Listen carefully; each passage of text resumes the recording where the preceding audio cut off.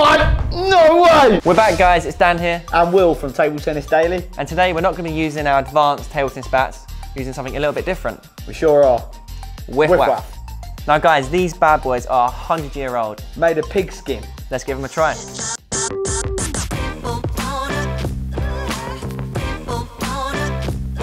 This is over 100 years old. It's, it's actually incredible.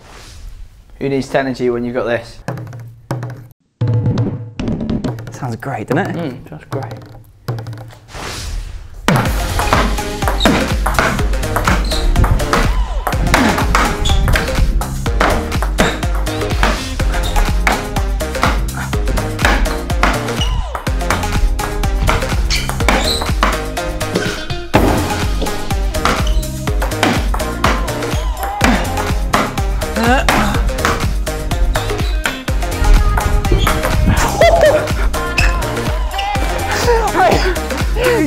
In so much effort in that shot. you were like, oh, this is not missing.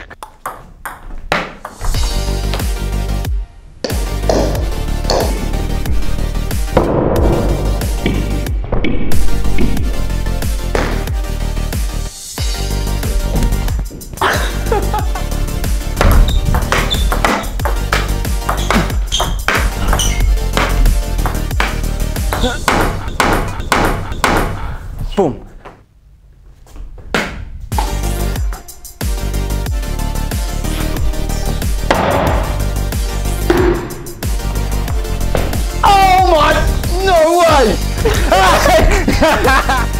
Come on, get in.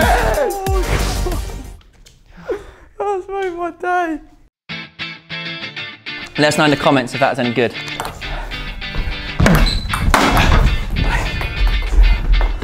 I've got, I've got the forehand. I've got the forehand to a T now. You know, it's funny, that's actually better than your normal forehand.